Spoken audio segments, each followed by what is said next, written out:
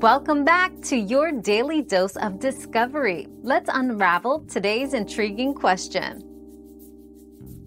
Overcooking is the main reason your chicken comes out dry.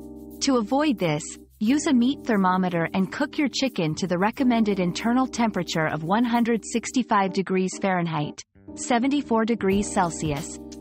Keep in mind, different parts of the chicken cook at different rates, so adjust your cooking time accordingly.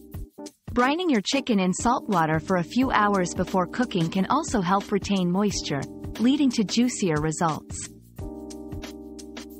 Our quest for knowledge never ends. Thanks for being part of today's discovery. Subscribe, like, and share to join us on the next one.